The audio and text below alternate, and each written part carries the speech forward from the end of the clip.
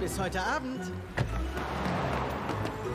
Hawkmoth hat gestern Abend zugeschlagen. Das heißt, heute kann er niemanden akkumatisieren. Ein Urlaubstag, endlich. Weit weg von Paris und seinen nervigen Akumas. Das wird toll, Adrian.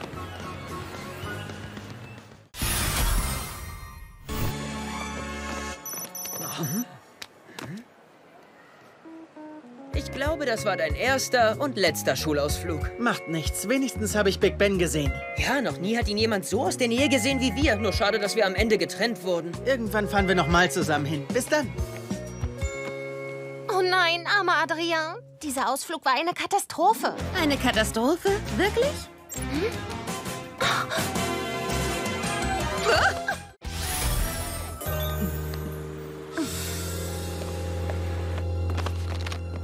Zu Marinette.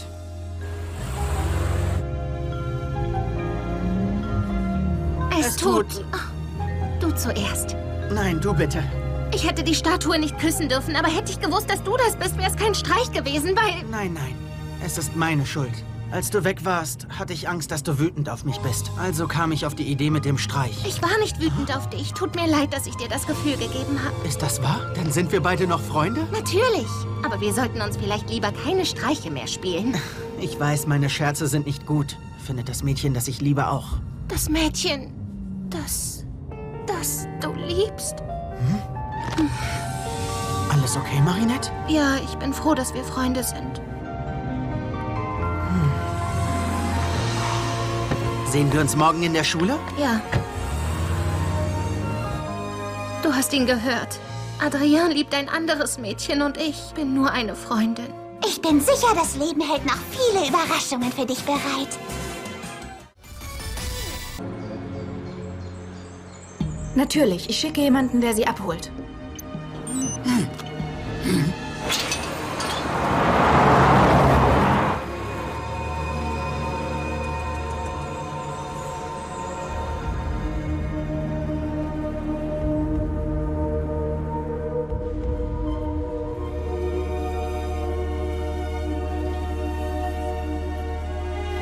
Es ist ein Jahr her. Je länger sie ihm verschweigen, was sie machen, desto schwerer wird es für ihn, wenn er es rausfindet.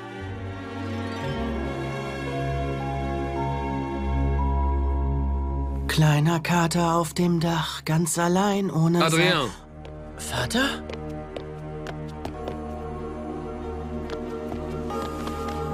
es gibt etwas Wichtiges, über das ich mit dir reden muss. Ich wollte es dir schon lange sagen, doch ich fand nicht die richtigen Worte. Ich denke, ich weiß es schon. Aber woher? Ich merke, wie nah du und Nathalie euch seid. Wenn sie dich wieder glücklich macht, dann...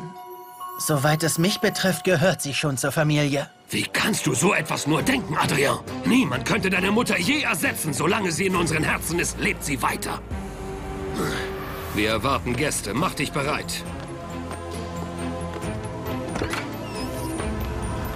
Wow, Vater ist wie ein Stück Tomkäse. Die Rinde ist so dick, dass es fast unmöglich ist, an das Innere zu kommen. Sei nicht so hart zu ihm, Pleck.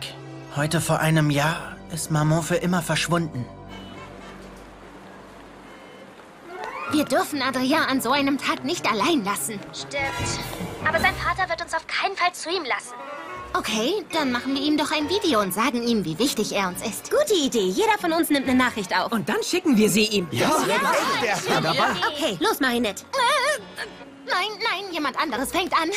Ich weiß noch nicht, was ich sagen soll. Okay, ist gut. Also, Nino, bist du bereit? Action. Hey, mein Freund.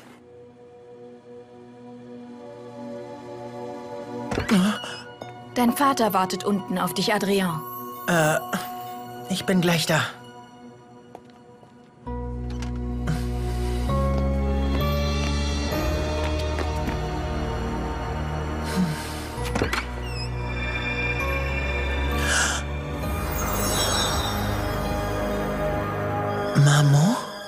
Sieh mal einer an, wie groß du geworden bist. Gabriel, ist dir nicht unglaublich süß? Ich bin sicher, Adrien ist am heutigen Tag überaus erfreut über den Besuch seiner Tante. Ähm, Tante Amelie? Ich freue mich so sehr, dich wiederzusehen. Ich dachte, an so einem Tag wäre es besser, wenn wir alle zusammen sind. Oder, Schätzchen?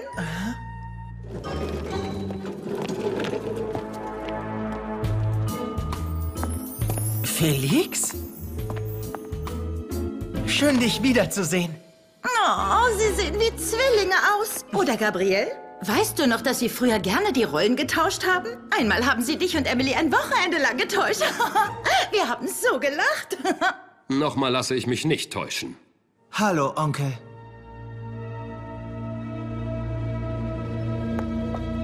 Felix, du weißt doch, dein Onkel war noch nie sehr körperlich. Hm. Oh, ist das süß. Du trägst ja immer noch dein Ehering. Ich nehme mal an, du hast auch noch Emilys. Du hast nie auf meine Nachricht geantwortet. Ich hätte die Ringe immer noch gerne zurück. Diese Ringe sind mir offensichtlich überaus wichtig. Sie sind mir auch sehr wichtig, Gabriel. Die Schmuckstücke gehörten schon immer der Gram de Vanilly-Familie, nicht den Agrests. Das klären wir noch. Es war eine lange Reise von London. Ihr wollt euch sicher ausruhen, Nathalie? Folgen Sie mir. Bring Felix in dein Zimmer. Ja, Vater. Komm, Felix.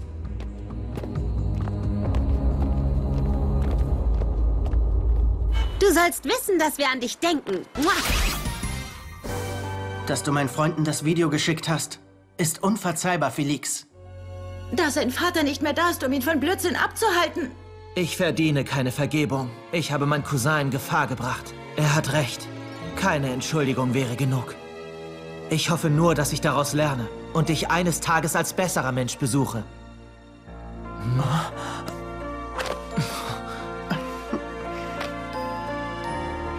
Es tut mir leid. Ich versuche es wieder gut zu machen. Bei dir auch, Onkel. Au revoir, Felix.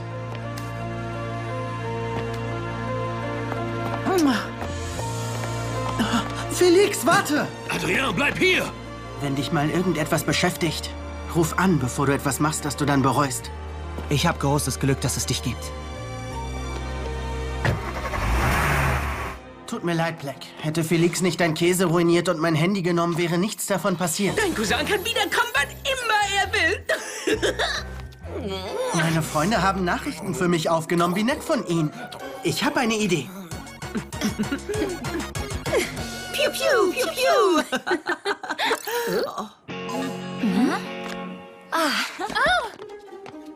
Hey Leute, ich habe eure Nachrichten nicht gekriegt, aber ich bin sehr gerührt, dass ihr heute an mich gedacht habt. Ihr seid die besten Freunde, die man sich erträumen kann. Ich liebe euch, euch alle. Ich liebe euch. Ich liebe euch. Ich liebe euch. Ich liebe dich auch, Adria. Ich liebe euch. Wieso schenkt man jemandem etwas, das nicht gegessen werden kann und keinen Geruch hat? Wenn du mir das schenken würdest, wäre ich ziemlich beleidigt. Ich sollte mir eine zweite Meinung holen.